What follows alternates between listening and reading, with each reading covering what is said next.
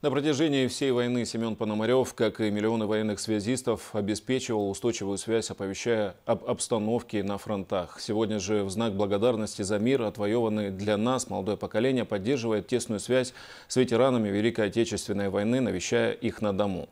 Поздравить Семена Алексеевича пришли представители администрации Черкесской, а также единого волонтерского штаба «Мы вместе». В гости к ветерану отправилась и Александра Коваленко. Оставив все насущные дела, в дом Семена Алексеевича спешат родные и близкие, чтобы поздравить своего дорогого человека со знаменательной датой – 75-летием Победы. Выразить слова искренней благодарности за мир во всем мире пришли и представители администрации Черкеска, а также волонтеры штаба «Мы вместе». Несмотря на то, что слез ветеран не сдерживает, смахивая их рукой, он все же любит рассказывать о своем боевом пути.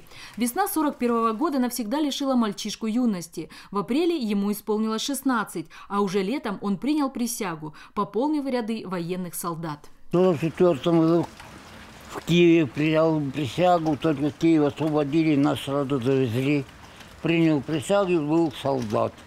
За Семеном была закреплена должность связиста, которая считалась одной из опасных на фронте. В мою задачу входило наладить связь между подразделениями и в случае ее обрыва исправить повреждения. Зачастую это нужно было делать под градом пуль. Победу Семен Алексеевич встретил в Берлине. Побеседовав с ветераном, выслушав исторические сведения, гости обратились к нему, пожелав крепкого здоровья и долгих лет жизни. Хотим вам пожелать э, очень долгих лет жизни, чтобы вас радовали внуки, дети, чтобы следующий День Победы у нас был не таким, но э, исходя из того, что у нас такой дух у нашего народа, мы его и в таких условиях отмечаем правильно.